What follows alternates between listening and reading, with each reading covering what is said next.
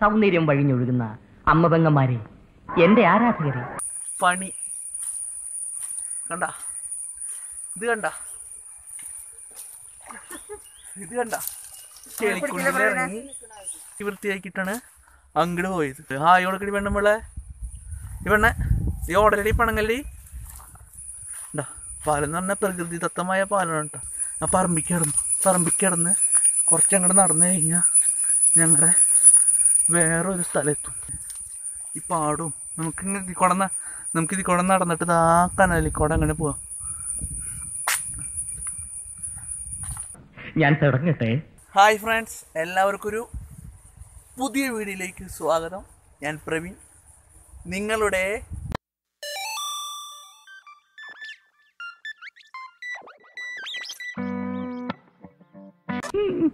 അങ്ങനെ ആ കാടിന്റെയും മലയുടെയും ഉള്ളിൽ നിന്നൊക്കെ നമ്മൾ ആ കണ്ട ഈ കനാലിന്റെ പാടത്തിന്റെ സ്ഥലത്തെത്തി. ഇവിടെയൊക്കെ കൃഷിയൊക്കെ ഉണ്ടായിരുന്നു ഇപ്പം ഇല്ല ചെയ്യും. അപ്പോൾ അത് കഴിഞ്ഞ് നമ്മളിപ്പോൾ മെയിനായിട്ടുള്ള സ്ഥലത്തേക്ക് കിടക്കുന്നുണ്ട് നമ്മളിപ്പോൾ പറമ്പ് നമ്മളിപ്പോൾ കടന്നു വന്ന പറമ്പില്ലേ? അത് ആ ചേട്ടന്റെയാണ് കേട്ടോ. അതാണ് അവരുടെ വീട്.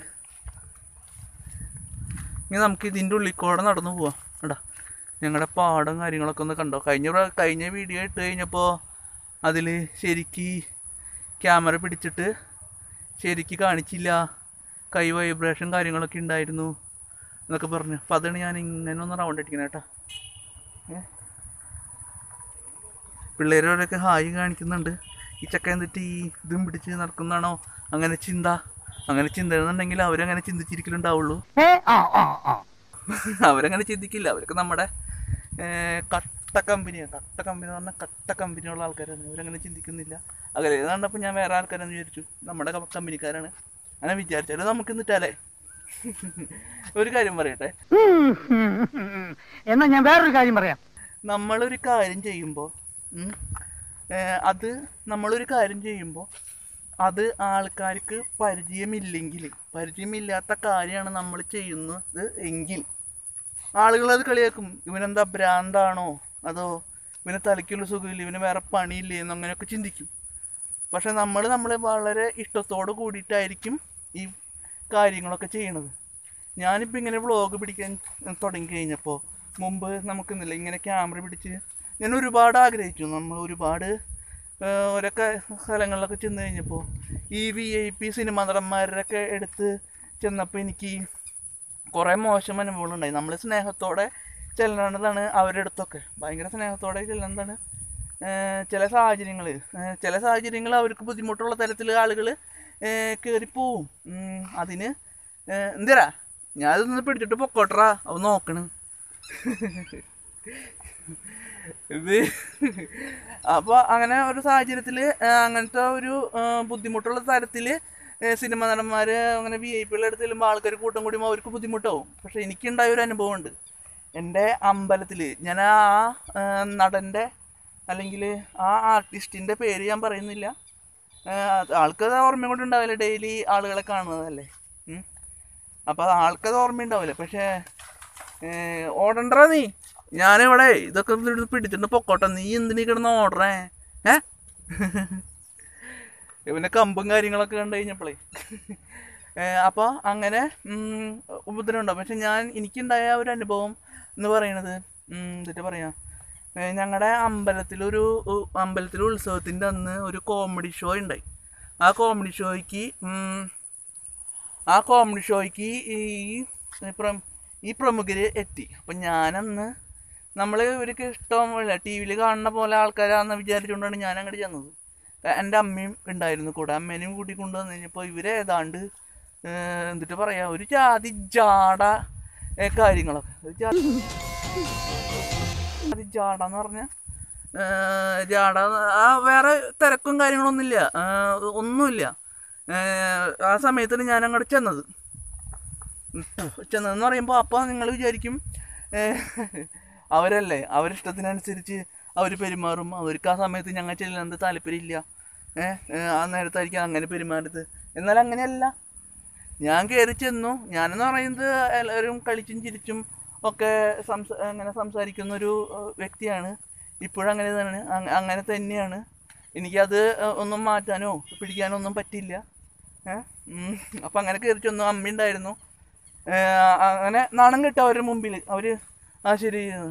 അത് കഴിഞ്ഞ് അത് അപ്പം അപ്പം ഞാൻ വിചാരിച്ചു അങ്ങനെ അപ്പം ഞാൻ വിചാരിച്ചു എന്നിട്ട് പറയാ വെയിലായതുകൊണ്ടേ പെട്ടെന്ന് പറയാൻ പറ്റണില്ല പക്ഷേ ഇത് പറഞ്ഞു കഴിഞ്ഞിട്ട് വേണം എനിക്ക് ഈ പാടങ്ങളൊക്കെ കാണിച്ച് നമുക്ക് കവർ ചെയ്തിട്ട് നമ്മുടെ പണി ചേച്ചിമാരിരിക്കുന്ന സ്ഥലത്തേക്ക് പോകാനായിട്ട് അത്ര നേരം ഇങ്ങനെ വെയിൽ ഓടണം ആ അപ്പം അങ്ങനെ ഞാൻ വിചാരിച്ചു ഇപ്പം നമ്മൾ ഇങ്ങനെ സാഹചര്യങ്ങളാ ഇപ്പം നേരത്തെ പറഞ്ഞോണം അവർക്ക് അവരുടെ സൗകര്യമില്ലാത്ത കാര്യങ്ങളായിരിക്കും. അങ്ങനെ ഞങ്ങളെ നാണ ഞാനും അമ്മയും നാണം കിട്ടും അമ്മയുടെ മുഖമൊക്കെ അങ്ങോട്ട് പോവാ അല്ലാണ്ട് അങ്ങോട്ട് പോയി. ഇവരെ എന്ത് ഇതുപോലെ പെരുമാറിയിട്ടേ. ഏതാ ടീം എന്ന് പറയുന്നില്ല പ്രമുഖ ചാനലിലെ പ്രമുഖ പരിപാടിയുള്ള ആൾക്കാരായിരുന്നു. ഒരു കയ്യബദ്ധം. നാറ്റുകരുത് പരിപാടി എന്നിട്ട് ഇവിടെ വന്നാൽ അവരിപ്പോ തല്ലിപ്പൊളി എന്ന് പരിപാടി എന്ന് പറഞ്ഞാൽ തല്ലിപ്പൊളി പരിപാടിയാട്ടാ. എന്നിട്ട് ആ തല്ലിപ്പൊളി പരിപാടിക്ക് നല്ല ഒരു നല്ല പരിപാടിയായി എന്ന് പറഞ്ഞ ആൾക്കാർ പറഞ്ഞു പോയ ആൾക്കാരാണ് ഞങ്ങൾ ഞങ്ങളെ നാണം കെടുത്തിയിട്ടും ഞങ്ങൾ നല്ല പരിപാടിയാണെന്ന് പറഞ്ഞു പോയ ആൾക്കാരാണ്. എന്നിട്ട് ഞങ്ങൾ നാണം കെട്ട് പുറത്തിറങ്ങി കഴിഞ്ഞപ്പോൾ സ്ഥലത്തെ പ്രധാന പയ്യൻസ് മാന്യന്മാർ അവർ വന്നു കഴിഞ്ഞപ്പോൾ അവരുടെ കൂടെ നിന്ന് ഈ വീട്ടുകൾ ഫോട്ടോ എടുപ്പ് കുശലം പറയണു. ഒരു ബുദ്ധിമുട്ടോ സൗകര്യങ്ങളോ ഇല്ല അവർക്ക്. ഇവരെ മുമ്പുള്ള പരിചയമുള്ള ആൾക്കാരും അല്ല. അപ്പോൾ ആളുകളിൽ ഒരു ചിന്തയുണ്ട്. ഒരു വേഷവും കാര്യങ്ങളും ഒക്കെ വേഷവും കാര്യങ്ങളും ഒക്കെ നോക്കിയിട്ട് ആൾക്കാരെ അളക്കണ ഒരു ചിന്തയുണ്ട്.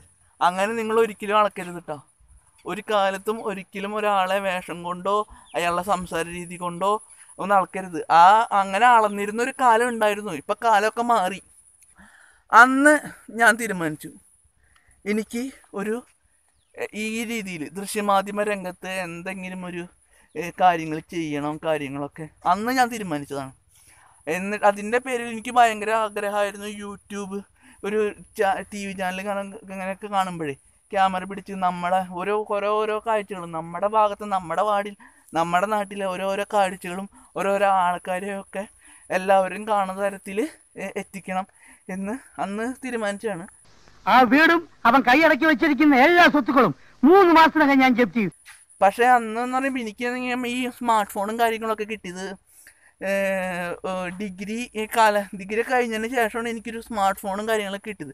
ഇപ്പം എന്റെ കയ്യിലിരിക്കുന്ന മൊബൈൽ എന്ന് പറഞ്ഞാൽ വലിയ ഫീച്ചറും കാര്യങ്ങളൊന്നുമില്ല. ഇപ്പം ഞാൻ ഈ ഷൂട്ട് ചെയ്തിരിക്കുന്ന ഈ മൊബൈലിൽ വലിയ ഫീച്ചറും കാര്യങ്ങളൊന്നുമില്ല. സ്റ്റെബിലൈസേഷൻ അങ്ങനത്തെ കാര്യങ്ങളൊന്നുമില്ല. ഒക്കെ പിടിച്ച് ഒക്കെ ചെയ്യുമ്പോൾ വൈബ്രേഷൻ കാര്യങ്ങളൊക്കെ ഉണ്ടാവും അപ്പോൾ അന്ന് അങ്ങനെ തീരുമാനിച്ചാണ് ഞാൻ എന്താണോ അത് എന്റെ ഫ്രണ്ട്സിനെ കാണിക്കണം. അതായത് എന്റെ എന്നെ ഇഷ്ടപ്പെട്ട് എന്നെ ഇഷ്ടപ്പെട്ട് എന്റെ സംസാരം എന്റെ വ്ളോഗും എന്റെ കഥകളും എല്ലാം ഇഷ്ടപ്പെട്ട് വരുന്ന ആൾക്കാരാണല്ലോ എന്റെ വീഡിയോ കാണുക. അപ്പോൾ അവർക്ക് ഞാൻ എന്താണോ എന്റെ വേഷവിധാനം എന്റെ സ്റ്റൈൽ എന്റെ സ്വഭാവം എന്താണോ അത് കാണിക്കണം. അത് പച്ചയായ രീതിയിൽ പച്ചയ്ക്ക് കാണിക്കണം എന്നുള്ളൊരു ചിന്ത എനിക്ക് പണ്ടേ മുതലുണ്ടായി. എന്തോ ഭാഗ്യത്തിന് യൂട്യൂബ് എന്നൊരു ഇത്. യൂട്യൂബ് എന്നൊരു ഇത് നമുക്ക് ഓരോരുത്തർക്കും എന്നെ സംബന്ധിച്ചിടത്തോളം വലിയൊരു അനുഗ്രഹമായിട്ടോ. എനിക്കിപ്പോൾ എന്റെ കയ്യിലുള്ള ഈ സാധാരണ മൊബൈൽ പിടിച്ച് എനിക്ക് ആദ്യം മടിയായിരുന്നു. കഴിഞ്ഞ കഴിഞ്ഞ വീഡിയോയിൽ ഞാൻ പറഞ്ഞു മൊബൈൽ നല്ല ക്യാമറ ഇല്ല ക്യാമറ പൊട്ടയാണ് സ്റ്റേബിലൈസർ അപ്പോൾ എന്റെ കൂട്ടുകാർ എന്റെ ചങ്ക് എനിക്ക് ഒരുപാട് ഫ്രണ്ട്സ് ഉണ്ട്. ഞാൻ വൺ കെ വീഡിയോയിൽ എന്റെ വൺ കെ ആയ വീഡിയോ ഞാൻ നിങ്ങൾ കണ്ടിട്ടില്ലെങ്കിൽ ഞാൻ ഡിസ്ക്രിപ്ഷൻ ബോക്സിൽ ഇടാം. അപ്പോൾ അതിൽ പറഞ്ഞിട്ടുണ്ട് എങ്ങനെയാണ് ഞാൻ യൂട്യൂബ് ചാനൽ തുടങ്ങിയത്? ഏത് രീതിയിലാണ് എങ്ങനെയൊക്കെയാണെന്നൊക്കെ അതിൽ പറയേണ്ടത് കാണാത്തവരുണ്ടെങ്കിൽ കാണാം. അല്ലെങ്കിൽ എന്റെ പ്രൊഫൈലിൽ ഞാൻ ഇട്ടിട്ടുണ്ട്. അങ്ങനെയും നോക്കാം. അപ്പോൾ അമ്മ അപ്പോൾ ഞാൻ പറഞ്ഞു വന്നത് ഞാൻ എന്താണ്? എന്റെ വേഷം എന്റെ ഇത്. എന്റെ വേഷം എന്ത് ചെയ്യുന്നത് ഞാൻ കോമണായിട്ട് ഇങ്ങനെ ഈ ബനിയനും ഒരു ഇത് കേട്ടാണ് നടക്കുക. കഴിവതും എനിക്ക് എന്നിട്ട് പറയാ? ആൾക്കാരായിട്ട് ഉള്ളൊരു തല്ലിനോ ഒരു വക്കാണത്തിനോ അങ്ങനെ പോകാനൊരു താല്പര്യവുമില്ല. പിന്നെ കുറേ പേര് എന്നിട്ട് പറയും ഇങ്ങനെ കളിയാക്കി നമ്മൾ ഒരുപാട് ബുദ്ധിമുട്ടിച്ച് ഇങ്ങനെ ഏതാണ്ട് താഴ്ത്തി നമ്മൾ ആർക്കും ഒരു ഉപദ്രവം കാര്യങ്ങളൊന്നും ഇല്ലാക്കാത്ത ജീവിക്കാൻ ഇഷ്ടപ്പെടുന്ന ഒരു ആളാണ് ഞാൻ. അപ്പം ഞാൻ എന്താണോ ഞാൻ ഇതാണ് എന്റെ സംസാരം എന്താണോ എന്റെ സംസാരം ഇങ്ങനെയാണ്. അതങ്ങനെ ആവാനേ പറ്റൂ. ഞാൻ ആളുകളുടെ അടുത്ത് എല്ലാവരുടെ അടുത്തും കളിച്ചും ചിരിച്ചും കൊഞ്ചിയും കുഴഞ്ഞും എനിക്ക് അങ്ങനെ പെരുമാറാൻ പറ്റുള്ളൂ. അങ്ങനെ ഞാൻ പെരുമാറുള്ളൂ. ഏഹ് അതൊക്കെ നോക്കി എന്നെ അളക്കുക അങ്ങനെ സാഹചര്യം ഉണ്ടായിരുന്നേ. ഇപ്പം അതൊന്നും ഇല്ല ഇപ്പം അതൊക്കെ മാറി. ഞാൻ യൂട്യൂബ് ചാനൽ തുടങ്ങി. എന്റെ വ്ളോഗ്സും കാര്യങ്ങളൊക്കെ ആളുകൾ ഇങ്ങനെ കണ്ട് കഴിഞ്ഞപ്പോൾ കുറേ പേർക്ക് ഇഷ്ടമല്ല. ഇഷ്ടമല്ലാത്തവർ കാണണ്ട. ഇഷ്ടമുള്ള ഒരുപാട് ആളുകളുണ്ട്. അവർക്ക് വേണ്ടിയിട്ടാണ് ഞാൻ ഈ വീഡിയോ ചെയ്യുന്നത് അത് തുടർന്നുകൊണ്ടിരിക്കും. ഇനിയും തുടർന്നുകൊണ്ടിരിക്കും. ഇതാണ് നമ്മുടെ പാടം അല്ല നമ്മൾ എന്റെ നാടും കാര്യങ്ങളൊക്കെ. ഇതിക്കൂടെ നടന്നു വന്നാണ് കേട്ടോ. നമ്മളിപ്പോൾ വർത്തമാനം പറഞ്ഞ് ഇതിക്കൂടെയാണ് നടന്നു വന്നത് കണ്ടോ? ഇവിടൊക്കെ പാടം കാര്യങ്ങളൊക്കെയാണ്. കൃഷിയും കാര്യങ്ങളൊക്കെ ഉണ്ടായിരുന്നു. വെള്ളം കയറി അതെങ്ങനെ കൃഷിയുടെ കാര്യങ്ങളെ കുറിച്ച് കൂടുതൽ പറഞ്ഞാൽ എനിക്കറിയില്ല. നമുക്ക് ഇതിക്കൂടെ അങ്ങോട്ട് നടന്ന് അങ്ങോട്ട് പോവാം വേണ്ട നമുക്ക് ഞാനിപ്പോൾ അവിടെ നിന്ന് നമ്മുടെ പണി ഈ കയറിയിരിക്കുന്ന ചേച്ചിമാരുടെ അടുത്തുനിന്ന് നടന്ന് ഇപ്പോൾ കുറച്ച് ദൂരമായിട്ടാണ് ഈ സാധനം ഞാൻ ആദ്യം ഇവിടുന്ന് പണിക്കിറങ്ങാമെന്നാണ് വിചാരിച്ചുകൊണ്ടിരുന്നത് അവിടെ ഞങ്ങളുടെ ആറാട്ടുകുളം ഒക്കെ ഉണ്ട് അമ്പലത്തിൽ ചക്കാറമ്പ്. ചക്കാറമ്പ് ഭുവനേശ്വരി ക്ഷേത്രമാണ് ഞങ്ങളുടെ അമ്പലം. അതിന്റെ വീഡിയോസ് ഉത്സവത്തിന്റെ വീഡിയോസൊക്കെ ഞാൻ ഇട്ടിട്ടുണ്ട്. നിങ്ങൾക്ക് ആവശ്യമുണ്ടെങ്കിൽ അല്ലെങ്കിൽ എല്ലാവരും കാണുന്ന ആഗ്രഹം ഉണ്ടെങ്കിൽ ഞാൻ അതിന്റെയും എന്റെ വൺ കെ വീഡിയോയുടെയും പിന്നെ ഈ ഉത്സവത്തിന്റെ വീഡിയോയുടെ ഒക്കെ ലിങ്ക് ഞാൻ ഡിസ്ക്രിപ്ഷൻ ബോക്സിൽ ഇട്ടേക്കാം. പിന്നെ എന്റെ ഫേസ്ബുക്ക് പേജിന്റെ ലിങ്കും ഞാൻ ഡിസ്ക്രിപ്ഷൻ ബോക്സിൽ ഇട്ടേക്കാം. ഇതിൽ കാണാൻ പറ്റാത്ത പല കാഴ്ചകളും അതിൽ കാണാൻ പറ്റും കേട്ടോ പിന്നെ ഇതിലെ വീഡിയോസ് കുറച്ച് ഓടിക്കഴിയുമ്പോൾ ഞാൻ അതിലിടും. ഓ ആ വെയിലത്തിൽ നിന്ന് കയറി വന്നിട്ട് ഈ ഇതിന്റെ മരത്തിന്റെ ചോട്ടിൽ നിൽക്കുമ്പോഴേ എന്തൊരു ആശ്വാസമാണെന്നറിയാം? ആ മരത്തിന്റെ കാര്യം പറഞ്ഞു വന്നപ്പോഴാണ്. ഈ പരിസ്ഥിതി ദിനത്തിന്റെ അന്ന് ആളുകൾ ആ ഫേസ്ബുക്കിൽ പേജ് ഒരു ഫേസ്ബുക്കിൽ ഷെയർ ചെയ്യാനും അല്ലെങ്കിൽ നമ്മുടെ യൂട്യൂബിൽ വീഡിയോ ഇടാനും ഒക്കെ. എല്ലാവരും അങ്ങനെയാണെന്നല്ല. അങ്ങനെ കുറേ മരങ്ങളും കാര്യങ്ങളൊക്കെ നടും. അത് പിന്നെ നോക്കാതെ ആ രസം കഴിഞ്ഞ് പിന്നെ അത് അവിടെ നിന്ന് ഉണങ്ങിപ്പോവും. ഇങ്ങനെ ഒരു കുറേ എണ്ണം കുറേ നശിച്ചു പോവും. കുറേ എണ്ണം പ്രതിബന്ധങ്ങൾ എന്തോ ഉണ്ടെങ്കിലും അത് പതുക്കെ വേര് പിടിച്ച് കിളിച്ച് കിളിച്ച് കിളിച്ച് വരും. നമ്മൾ അതെല്ലാം നോക്കേണ്ടതാണ്. വെറുതെ ഒരു പേരിന് വേണ്ടിയിട്ട് മരങ്ങൾ നട്ട് പേരുണ്ടാക്കുക അതൊരു ഒരു ദിവസം. ഇപ്പോൾ ഓരോരോ ദിവസങ്ങൾ സ്റ്റാറ്റസ് ഇടുക അന്നത്തെ ദിവസം കഴിഞ്ഞാൽ അതിന്റെ പ്രാധാന്യം കഴിഞ്ഞു. അങ്ങനെ ഒക്കെ ഒന്ന് ചിന്തിച്ച് ഒരു മരം അങ്ങനെ ചെയ്യരുത്. ഞങ്ങളെ രക്ഷിക്കണം ഞങ്ങളെ രക്ഷിക്കണം മുതലാളി വരുമ്പോൾ അതിന് ആത്മാർത്ഥമായിട്ട് കൃഷിയും ഏ, തൈകളും കാര്യങ്ങളൊക്കെ നടുക ഏഹ് അതിനെ പരിപാലിക്കുക അതിനെ വളർത്തുക. ഇപ്പോൾ നമ്മളിപ്പോൾ ഇത്ര നേരം വെയിലും കൊണ്ട് നമ്മളിപ്പോൾ ഇത്ര നേരം വെയിലും കൊണ്ട് വന്ന് ആ പ്ലാവിന്റെ ചോട്ടിൽ നിന്ന് കഴിഞ്ഞപ്പോൾ നമുക്കൊരു തളർ കൂളിങ്ങും കാര്യങ്ങളൊക്കെ ഉണ്ടായില്ലേ? മരം ഇല്ലെങ്കിൽ നമുക്ക് അടുത്ത തലമുറ ഇല്ല. മരങ്ങൾ വേണം. മരങ്ങൾ വേണമെന്ന് പറഞ്ഞാൽ അതാണ് മരം ഒരു വരം തന്നെയാണ്. നമ്മൾ അതിനെ പരിപാലിക്കണം. ഒരു ഒരു വൃക്ഷത്തൈ പണ്ട് അടുത്ത് പറഞ്ഞു കേട്ടിട്ടുണ്ട് ഒരു വൃക്ഷത്തൈ ഒരു വൃക്ഷം മുറിക്കുമ്പോൾ അത് മരത്തിനോട് അനുവാദം വാങ്ങി ഏഹ് ഒക്കെ വേണം. ഇപ്പോൾ ആരെങ്കിലും അങ്ങനെയൊക്കെ ചെയ്യുന്നുണ്ടോ? മരം വെട്ടിക്കളയായാലും കോൺക്രീറ്റ് കാര്യങ്ങളൊക്കെ ചെയ്യുക പാടങ്ങൾ നികത്തുക അങ്ങനത്തെ പല പല ഇതും ചെയ്യുന്നുണ്ട്. അതൊക്കെ നമുക്ക് ഭാവി തലമുറയല്ല. അങ്ങനെയല്ല ഇനി വരുന്നൊരു തലമുറയ്ക്ക് എന്ന് പറഞ്ഞൊരു സോങ് ഉണ്ട് പാട്ട്.